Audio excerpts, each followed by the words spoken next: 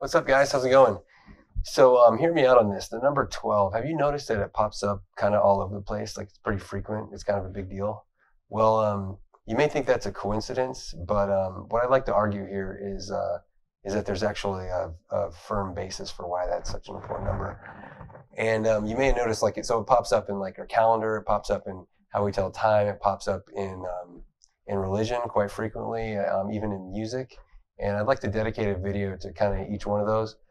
Um, before I jump into the number 12, um, let's just take a look at the number 360, a uh, much bigger number, but you may be familiar with that um, with regards to the unit circle because you could think of like a circle has um, 360 degrees in it.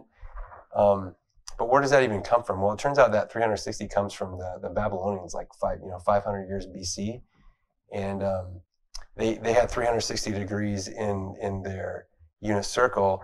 Um, but it's also kind of interesting, isn't it, that there's about 360 days in a year, and a year is basically a circle of the Earth around the Sun, right, in orbit. Um, so kind of kind of interesting they, they picked that number. Um, they also probably picked it because, and maybe this is why they had to base 60, um, because 60 times 6 is 300 is 360, so it's kind of a convenient um, mathematical number. So of course 360 can be divided by 6 or 60. It can also be divided by 1, 2, 3, 4, 5, 8, 9, 10, 12, 15, 18, 20, 24, 30, 36, 40, 45, 72, 90, 120, 180, and 360. They're all divisors of 360. Which makes 360 what's known as a highly composite number because it has more divisors than any number um, lower than it. But it's actually more than that. It's kind of a, it's a bigger deal than that. It's actually what's known as a superior highly composite number. And when I say it's a big deal, there's only 10 of these numbers between one and a million. And um, it turns out that 60, that base that the Babylonians use, is also one of those numbers. And this brings us to another number, another superior highly composite number, which is the number 12. And if we're talking about this circle, we could also think that um, in that circular orbit that we that the Earth has around the Sun, there's 12 months. And of course, where does that term month even come from? Well, month is what, another way you could think of it. And most languages actually have um, a strong correlation between, it's the same word for month and for moon. And that's of course because a month is based on the on the lunar calendar. Um, and of course for us the month you think of like oh we got how many days are in this month? Is it 30 28 31 you know you got it's like kind of hard to figure out but the, the um, ancient babylonians did it and the hebrews actually did it a lot simpler. They just said there's 30 days in a month. But why 30 days? Well the lunar cycle like just thinking about one orbit of the of the moon around the earth is 27 days um, but um, the earth actually um, in that in that 27 days where that that um, the moon is orbiting around the Earth, the Earth is actually rotating like 30 degrees around the sun. So from our perspective, from the Earth's perspective, it looks like it's almost 30 days for a full lunar cycle to go from like a new one new moon to the next new moon.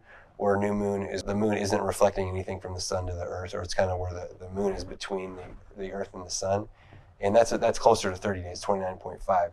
So that's what the ancients used for a month. They used um, just round that up to 30 and much simpler than, than what we use.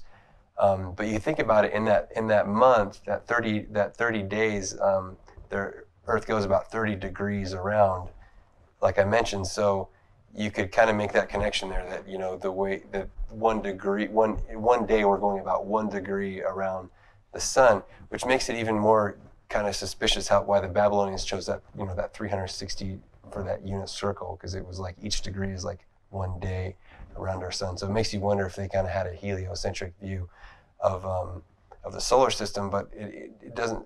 You know that that view didn't really come till much later, so it's it's actually you know really surprising that, that they had it. So that's why you see that you see that number 12 pop up, you know, with our with the number of months that we have in, in a year.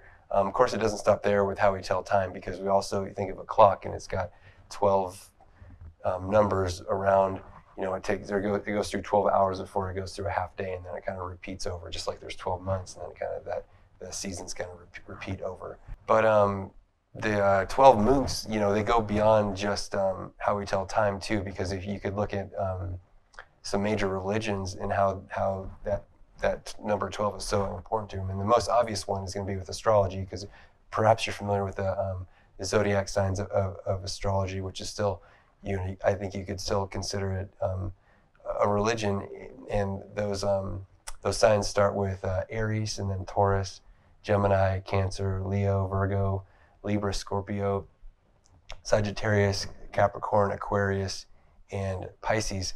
And each of those each of those signs represents a 30 degree of the Earth's orbit around um, around the sun. So they clear those 12 signs are clearly um, tracing back to those 12 uh, lunar cycles, which are about 30 degrees. Um, so you can see that the number 12 is um, it's integral to our solar system, the sun, the moon, the earth, and it forms the basis not only for the, our calendar and months, um, but also how we tell time, and also it forms the basis for the um, some of the core um, components of a lot of the major religions. Like we just mentioned, mentioned astrology, but if you're interested, if you want to stick around, um, next video I want to talk about how it, it corresponds to other um, religions as well.